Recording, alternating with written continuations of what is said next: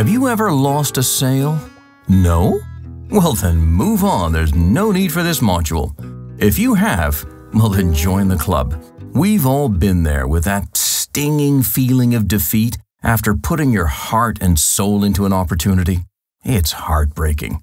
But if you have the right mindset, you can use the opportunity of a loss to learn and improve. But how? Is it enough to review the sales process internally? Or should you ask the customer? Yeah, the one who just said no. To really learn from losses, you need in depth feedback, not just the usual question of why did we lose, which leaves the door open for the customer to let you and them off the hook by saying the price was too high.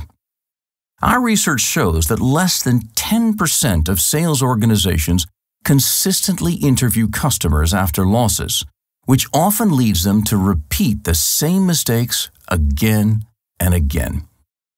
But remember, there may be as much to be learned from a win as from a loss to find out why the customer chose you and your solution so you can continue doing the things that customers like.